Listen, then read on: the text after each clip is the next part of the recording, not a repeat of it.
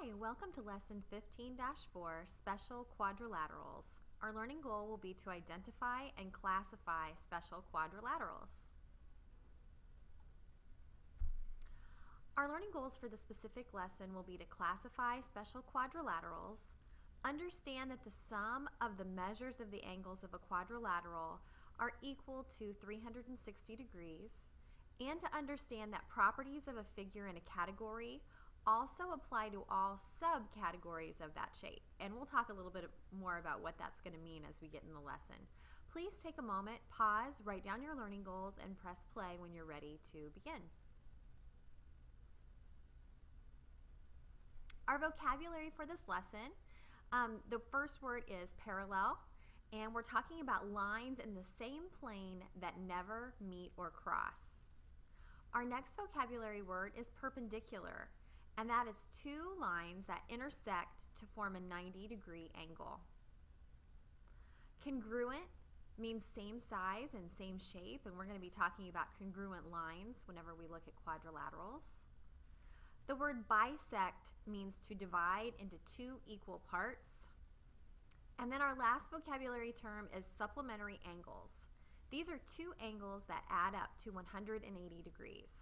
Please take a moment Write these in your math journal and press play when you're ready to move on. um, this is also important and you should write it in your notes today. Um, these are the properties of a quadrilateral. Um, in a quadrilateral, both pairs of opposite sides are parallel. Number two, both pairs of opposite sides are congruent. That means same size and same shape. Number three, both pairs of opposite angles are congruent. Again, congruent means same size and same shape. Number four, consecutive angles are supplementary. That means they add up to 180 degrees.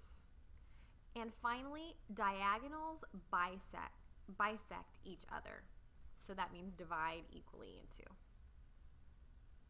Please take a moment, write these down in your notebook when you're ready to move on please press play. So first of all, we're going to look at rectangles. Rectangles are a type of quadrilateral. A quadrilateral is a rectangle only if it has four right angles and the diagonals are congruent. And I needed to move this X over, but it should be over in front of that rectangle. And this also would probably be something to write down in your notes um, since later on we're going to have to classify different quadrilaterals. This will be helpful to look back at. Press pause and then play when you're ready to move on. Next we're going to be talking about a rhombus and a square. A quadrilateral is a rhombus if and only if it has four congruent sides, the diagonals bisect a pair of opposite angles, and the diagonals are perpendicular. For some reason our X's in there um, that show our diagonals didn't move over, but um, they should be um, crisscrossing in um, both of the quadrilaterals on this slide. Take a moment, write this down. You may need to look back and review what does congruent mean? What does bisect mean? What does perpendicular mean? So that you understand um, how we'll classify a rhombus and a square. A trapezoid. A trapezoid um, is a quadrilateral with two parallel sides and two non-parallel sides, and you'll see examples of those below. It would be a good idea to also draw these examples in your notes um, so that you have something to, again, look back on so that you know you can classify a trapezoid correctly. One pair of opposite sides are parallel. If the pair of non-parallel sides are exactly the same length, it's called an isosceles trapezoid. So if a pair of non-parallel sides are exactly the same length, it's called an isosceles trapezoid.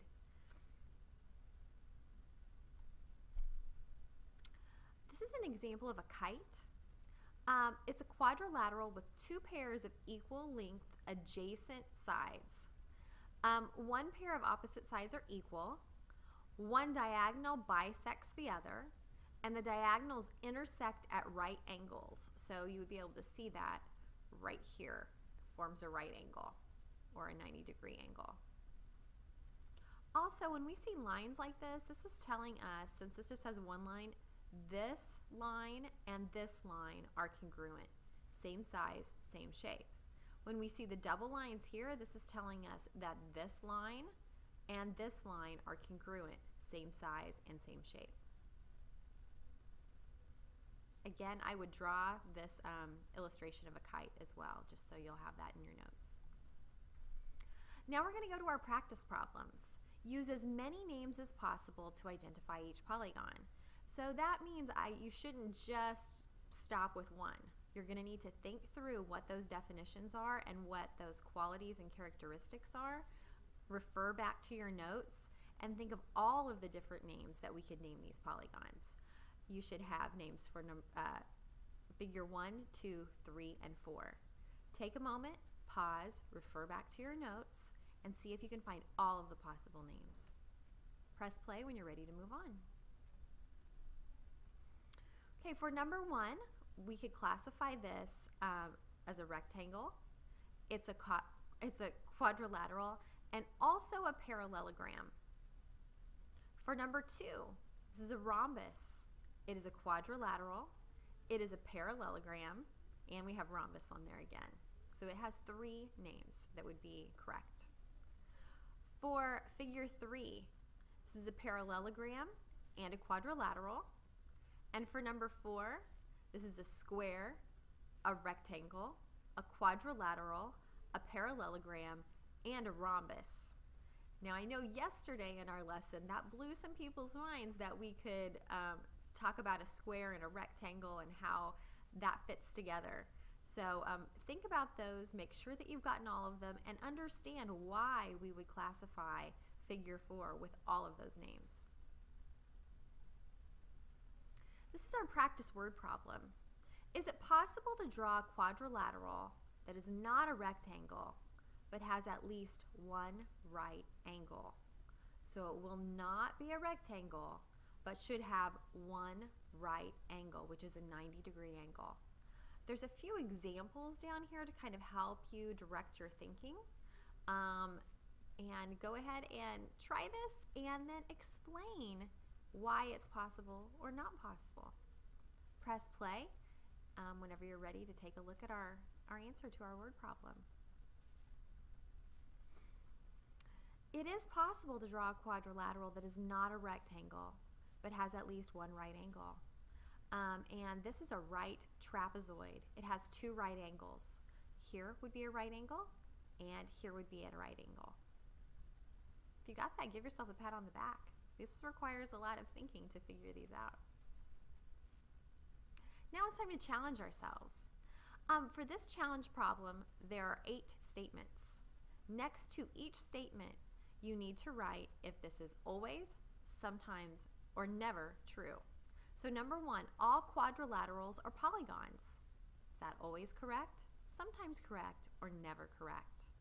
Number two, all trapezoids are rectangles.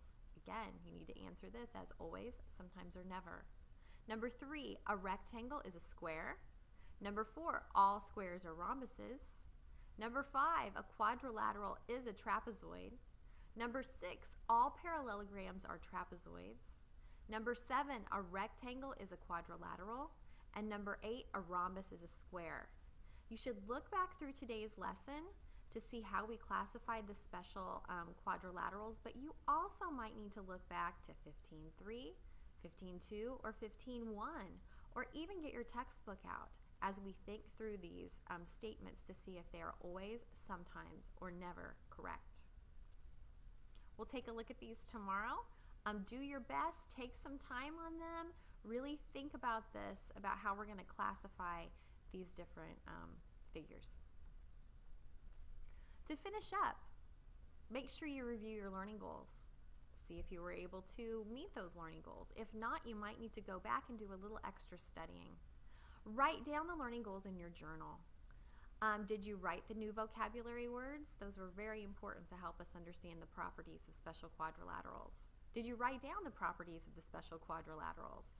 Do you have the answers to your practice problems? Did you also write down examples of some of those special quadrilaterals that we were discussing? Do you have the answers to the practice word problem in your journal? Have you answered each of the challenge problem questions with always, sometimes, or never? If you've done all those things, you've now completed lesson 15 4, and we'll see you tomorrow. Um, give yourself a pat on the back. This does require a lot of thinking and a lot of studying, even though it doesn't require computation. So make sure you really understand that new vocabulary. And um, if you need some more work on it, go back through, take a look at it, and we'll do some practice in class as well.